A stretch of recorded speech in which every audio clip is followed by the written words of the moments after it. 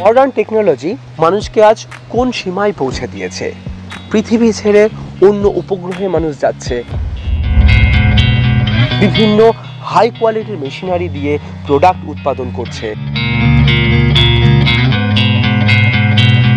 অথচ মানুষ যতই টেক স্যাভি হয়ে যাক না কেন, যতই টেকনোলজি ইউজ করুক না কেন, মানুষের কিন্তু একটা basic nature back to pavilion যতই দূরে চলে যাক না কেন, প্রকৃতি থেকে আবার কিন্তু সেই প্রকৃতিতে ফিরে আসার একটা আদিম প্রবৃত্তি মানুষের মধ্যে থেকেই গেছে। এক্ষেত্রেও অন্যথা ঘটেনি ইংলিশ মিডিয়াম স্কুলের শিক্ষক মিস্টার এস ব্যানার্জির ক্ষেত্রেও। তিনিও স্বপ্ন দেখেছিলেন শেষ জীবনে একটা ফার্ম হাউসে কাটাবেন। তার এই ইচ্ছা তাকে এতটাই উদ্গ্রীব করে তুলেছিল যে চাকরির শেষ সময়টুকু আর তিনি চাকরিতে থাকলেন না।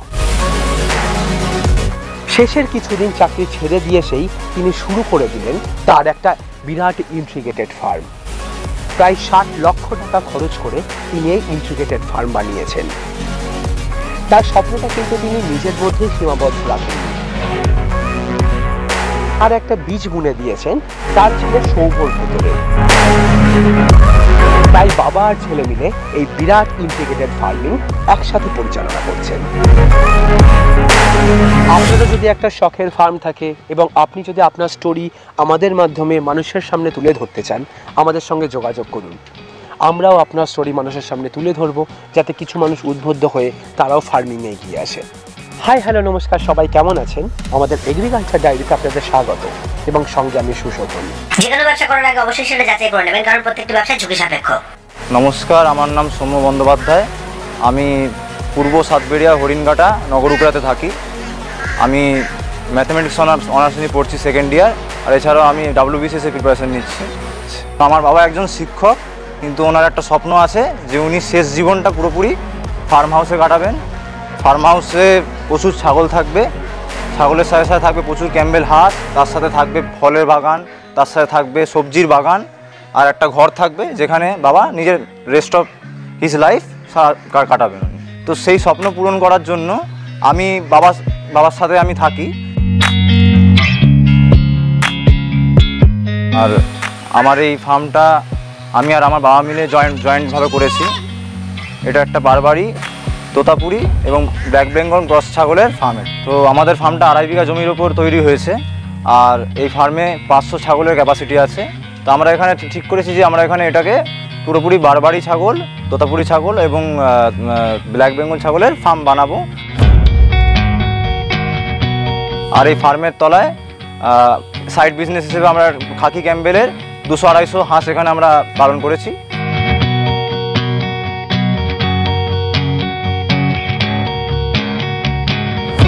আর এরা ডিম পাড়া হাঁস আছে। এরা ধীরে ধীরে বড় হচ্ছে, আর বড় হওয়ার পর রোজই ডিম দেবে। আমাদের এই পাশে কাটা, পাঁচ কাটা একটা পুকুর বানিয়েছি, সেই পুকুরের মধ্যে এরা চড়ে বেড়ায়। আর তার সাথে সাথে যেহেতু পুকুরটা বানানোই হয়েছে, তার জন্য এখানে আমি তেলাপিয়া, রুই আর কাতলা মাছ ছেড়ে দেওয়া হয়েছে। এরাও ধীরে ধীরে সংখ্যায় বাড়ছে, আর এখান থেকেও আপনার আমাদের বিজনেসটা আসবে। আর পুকুরের পুকুরের বাউন্ডারি ঘিরে আমরা যেটা করেছি, সেটা হচ্ছে যে আমাদের যে দৈনন্দিন যে তরি তরকারিগুলো লাগে, সেগুলোর জন্য আমরা বিভিন্ন সবজির গাছ লাগিয়েছে, যেখান থেকে আমরা সবজি পাই, এমনি ভেন্ডি, উচ্ছে, ঝিঙে এসব পাই আমরা। আর এমনি তাছাড়াও আমাদের যে আড়াই বিঘা জমির উপর যে বাউন্ডারিটা আছে বাউন্ডারির ভেতর ভেতরের দিকে পুরো বাউন্ডারি বরাবর প্রচুর কলা গাছ, প্রচুর পেঁপে গাছ এসব লাগানো হয়েছে, এছাড়া আঙুর গাছ লাগানো আছে। এগুলো কমার্শিয়াল পারপাসের জন্য আমরা পরে বিক্রি করব। ওখান থেকে যে ফল ফলনটা হবে। আর তাছাড়াও এখানে আমাদের এখানে থাকার জন্য যে একদম ফার্মের কোণে আমাদের জন্য একটা দুটো দু রুমের একটা ঘর বানানো হয়েছে যেখানে আমি আর বাবা থাকি। আর এই বাউন্ডারির যে বাইরের বাইরের যেটা আছে বাইরের ব্যাপারটাতে আমরা এই যাতে ছাগলদের খাবার খরচাটা এখান থেকে মোটামুটি উঠে আসে। মানে শুকনো খাবার বাদ দিয়ে যে সবুজ খাবারটা যেটা ভিটামিনের জন্য ছাগলকে দিতে হয় তার জন্য আমরা বাউন্ডারির চারিপাশে দু বিঘা জমি দু বিঘা জমির কাছাকাছি জায়গাতে সিও সিএন ফোর এবং নেপিয়ারে কাটিং লাগানো আছে।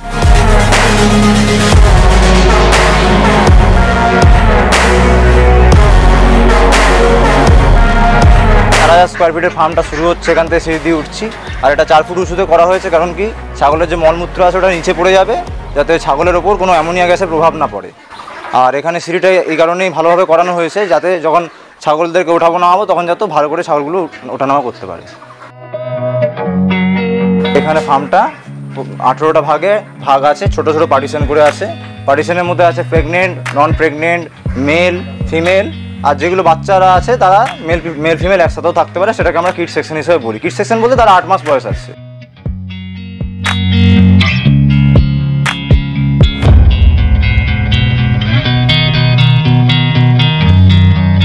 তেমনি এটা একটা কিড সেকশন এখানে আট মাসের সমস্ত বাচ্চারা আছে। এর মধ্যে ছটা ফিমেল আছে আর চারটে মেল আছে। মেল মেলগুলোকে যেগুলো একদম ম্যাচিওর মেল হয়ে গেছে, সেগুলোকে একদম আলাদা রুমে রাখতে হয়। একটা করে রুম মানে তাদের জন্য অ্যালট করতে হয়। প্রেগনেন্ট যাদের বাচ্চা হয়ে গেছে, তাদেরকে যদি ছাগলের সংখ্যা বেশি থাকে, তাহলে আমি আমি চেষ্টা করব যে একটা খুবই বেশি ছাগল রাখব। কিন্তু ছাগলের সংখ্যা যদি কম থাকে, তাহলে একটা ছাগলের জন্য একটা বাচ্চা যদি হয়, তো সেই বাচ্চার মা একই একটা সেটের, একটা পার্টিশনের মধ্যেই থাকবে।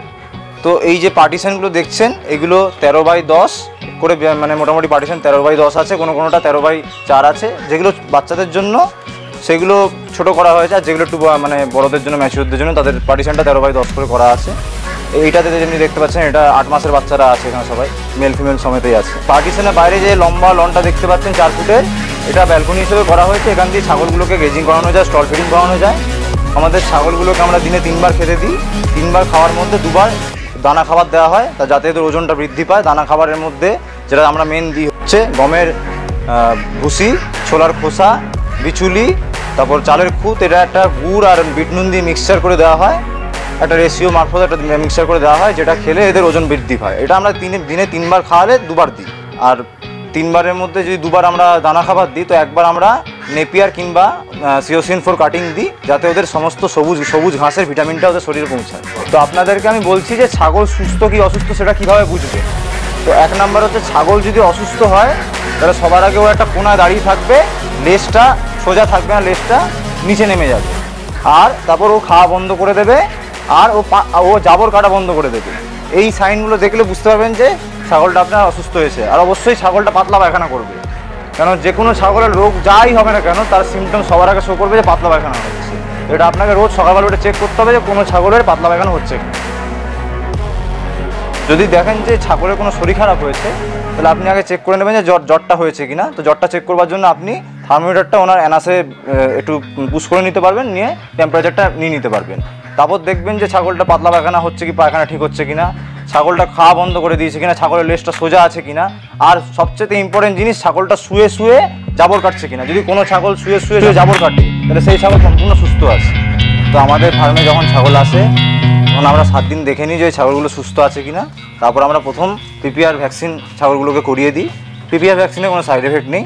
তার ঠিক একুশ দিন পরে আমরা ছাগলগুলোকে গোটপক্স ভ্যাকসিন করিয়ে দিই। তার ঠিক একুশ দিন পরে আমরা এফ এম এফএমডি এইচএস আর সিকিউ বলে একটা ট্রিপল ভ্যাকসিন একটা ডোজ পাওয়া যায়, যেটাকে রাক্সা ট্রায়োভ্যাক কোম্পানি প্রোভাইড করে। সেইটা আমরা দিয়ে দিই। তবে আমি একটা জিনিস বলতে চাই যে রাক্সা ট্রায়োভ্যাকের একটু সাইড এফেক্ট আছে। তো ওটা দিতে পারেন, কিন্তু একটু সাইড এফেক্ট আছে। তারপরে একুশ দিন পর সিসিসিপি বলে একটা ভ্যাকসিন হয়, সেটা আমরা দিই। তো আমাদের যে ফার্মে যে ছাগলগুলো আছে, সবাই পিপিআর গোটপক্স আর রাক্সা ট্রাইভ্যাক সবাইকে দেওয়া আছে। ছাগলদেরকে পিপিআর ভ্যাকসিন দেওয়াটা খুবই দরকার, কেন পিপিআর একটা মহামারী। একটা ছাগলের যদি পিপিআর হয় ফার্মে তো সমস্ত ছাগলের পিপিআর হয়ে যাবে, আর পিপিআর এর মর্টালিটি রেট হান্ড্রেড পার্সেন্ট কারণ কি, একটা ছাগল যদি পিপিআরে আক্রান্ত হয়, তার হান্ড্রেড পার্সেন্ট চান্স সে আর বাঁচার কোনো সিন নেই। আর তার সাথে সাথে সাথে ফার্মে যতগুলো সুস্থ ছাগল আছে, তারা যদি নন ভ্যাকসিনেট থাকে, তাদেরও পিপিআর রোগটা হয়ে যাবে। আর গোটপক্সটা গোটপক্সটা আরও একটা গুরুত্বপূর্ণ ভ্যাকসিন কারণ কি গোটপক্স হলে আরও ছোঁয়াচে ওটা একটা ভাইরাসের মাধ্যমে ছোঁয়াচে যেহেতু যেহেতু ওটার জন্য আরও বেশি ছোঁয়াচে ওটা এরিয়াতে যদি কারোর আশেপাশে গোটপক্স হচ্ছে, তো অবশ্যই পোস্ট ভ্যাকসিনটা দেওয়া উচিত। চার মাস বয়স থেকে গোটপক্স ভ্যাকসিনটা দেওয়া যায়। তো আপনাদের ছাগলগুলোকে যদি সুস্থ সবল রাখতে চান, তাহলে অবশ্যই পিপিআর এবং গোটপক্স এই দুটো ভ্যাকসিন আপনাকে একুশ দিন অন্তর অন্তর দিয়ে তারপর ছ মাস পর পর রিপিট করতে হবে। তো আমাদের ফার্মে যদি কোনো ছাগলের রোগ হয়, পাতলা পায়খানা হয়, সেই ক্ষেত্রে আমরা এই বায়োট্রিম ডিএস বোরাস ট্যাবলেটটার ওয়ান থার্ড আমরা বাচ্চাকে খাওয়াই। আর যদি কোনো বড় ছা বড় ওয়েটের ছাগল থাকে, তার হাত করে আমরা দিনে দুবার করে খাওয়াই। তখন পাতলা পায়খানা পুরো বন্ধ হয়ে যায়। আর এই যে গ্যাস্ট্রিনা বলে যে ওষুধটা আছে, এটা আমরা দু চামচ করে ছাগলদের খাওয়াই। যদি সেই ছাগলটার কোনো পেট ফেপে গেছে বা ওভার ইটিং হয়ে গেছে বা গ্যাস হয়ে গেছে, সেই ক্ষেত্রে ওষুধটা খাওয়ালে ইনস্ট্যান্ট গ্যাসের থেকে রিলিফ পেয়ে যায় আমাদের ছাগলগুলো। আর যদি আমাদের ছাগলগুলোর কোনো সময় ঠান্ডা লেগে থাকে প্রেগনেন্ট নন প্রেগনেন্ট দুটোর ক্ষেত্রেই এই মেরিক কুইন সলিউশনটা আমরা খাওয়াতে পারি দু এম করে। তবে এটা একটু না খাওয়ানোই ভালো কারণ এটা খুবই কড়া ওষুধ। 2 ml, যদি ঠান্ডা একান্ত লাগে তখনই খাওয়ানো উচিত। আর এই যে সিরাপটা দেখ- আছে পলিবিয়ন সিরাপ এই পলিবিয়ন সিরাপটা আমরা যখন ওই বাচ্চা নতুন হয়, তখন ওই বাচ্চাদেরকে আমরা মানে একদম নিউ বর্ন বেবি যেটা ডে ওয়ান থেকে যেটা যে বাচ্চারা হয়, তাদেরকে ভিটামিন সাপ্লাই করার জন্য পলিবিয়ন সিরাপটা আমরা খাওয়াই।